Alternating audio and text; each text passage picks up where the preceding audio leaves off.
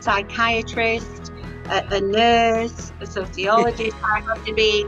Or you put all these different hats on, and then you you can lose your sense of self as well.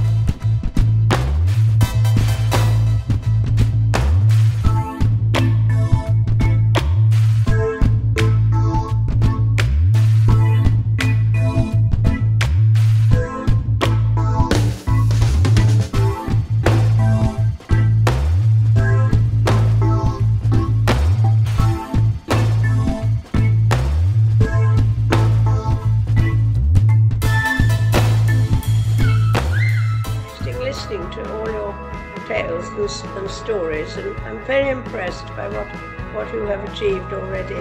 So I'm very glad to have been able to join you today.